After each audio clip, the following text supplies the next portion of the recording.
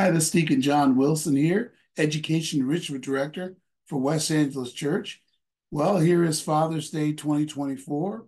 First of all, I want to thank God for allowing me to be a father and to lead youth in their educational and career pursuits.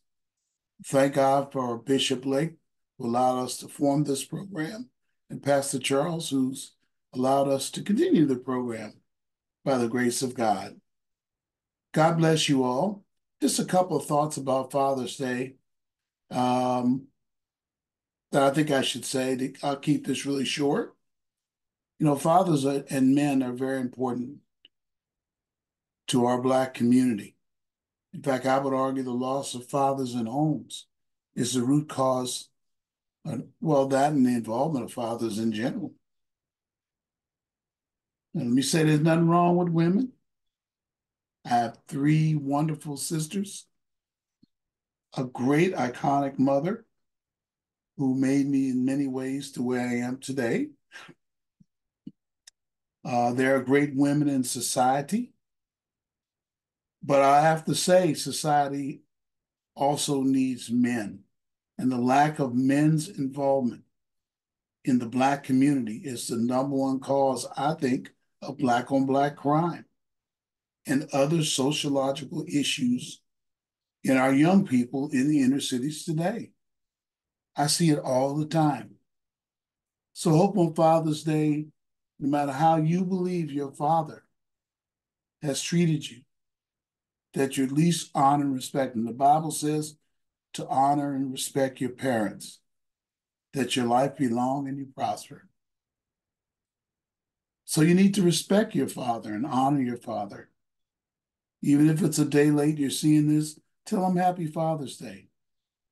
It's so easy to hold our fathers accountable for how we turned out and how things were for us in life. When things go wrong, dad seems to get that blame. I've seen it in our community and I've seen it in others as well. But will you take a moment and thank your father and, res- and respect him at least on Father's Day? I feel like Father's Day and his birthday you should be personally thanking your father for all he's done. You know, it's, going to be hard for some of you because some of you don't know your dads. I get that. There's nothing you can do. Some of you don't feel they've been great dads, and maybe they were not. But as I pointed out to you before, students before, I'll point it out to parents now. As bad as your father was, God has brought you to this point. And also out of a show of even respect and mercy and grace, we need to at least take this day to honor our fathers. Now, I practice what I preach. My dad, my dad was a very, very tough man, harsh. He raised me roughly. He told me things personally, even late night, when he's insisting on me getting things right on my paper route and in my studies. Things he would never say in front of my sisters. He's a tough man. He was a tough man. He passed away in 2007, some 17 years ago thanks be to God, over his last four years, I was able to spend some time with him and even have my son to visit with him when he was unfortunately on his deathbed. As, as tough as he was, as mean as he was to me, as harsh as he was, profane as he was to me, right up to the line of abuse, but never crossing it. I mean, sure, he had to discipline me physically sometimes. I deserved it 90% of the time, as I think, as I remember it. But he was a hard man. I watched how he treated my sisters. I think he was kind of rough. We later learned a lot of it was his mental health condition from the Korean War. We wouldn't learn that two years later. I was estranged from him for many, many years till he showed up in Los Angeles and met my wife at the time and went on to meet my children. Uh, we began to awkwardly explore a relationship. When he passed, I was seeing him in the uh, rest home twice a week.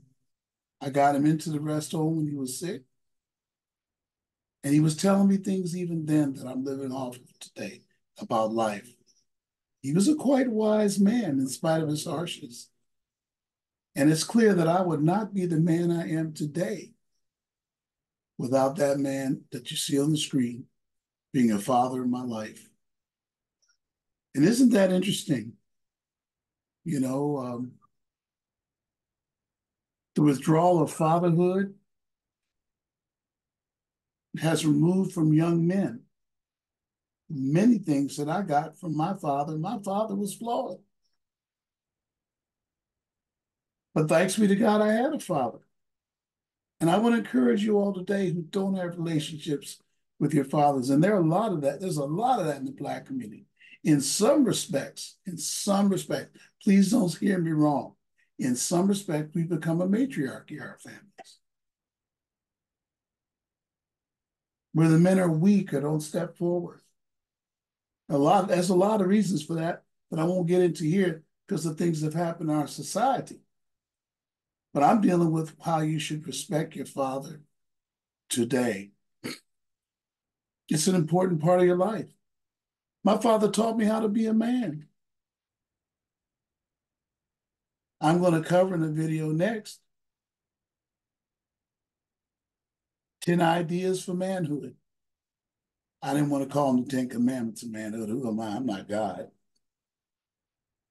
But I've been asked that question what does it take to be a man? Somebody asked me that four years ago. I don't have think it was my son.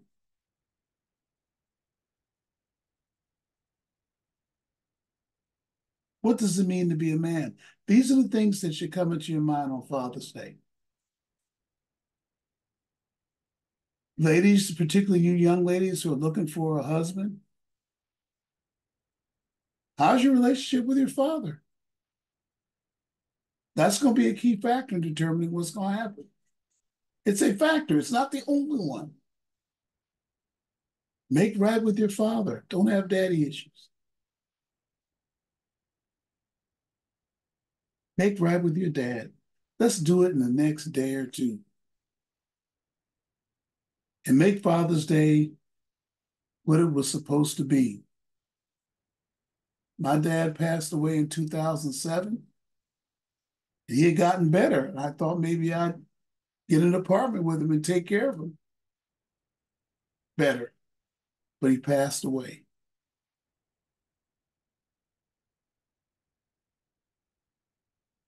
All right. I just wanted to share some thoughts about Father's Day and manhood.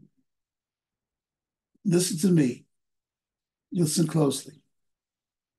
We must solve this problem of male influence and manhood in our black communities, or we will, or we'll sit here waiting for it from the white man forever.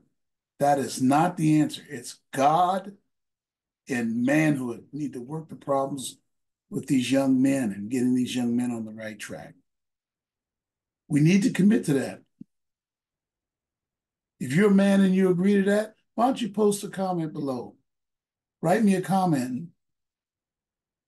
Show me where I can get a hold of you. I'll put my email address in the description below. Email me. I want to team up with men to help these young men a little more for the rest of this year and into next year. All right, God bless you all. Happy Father's Day. Bye bye.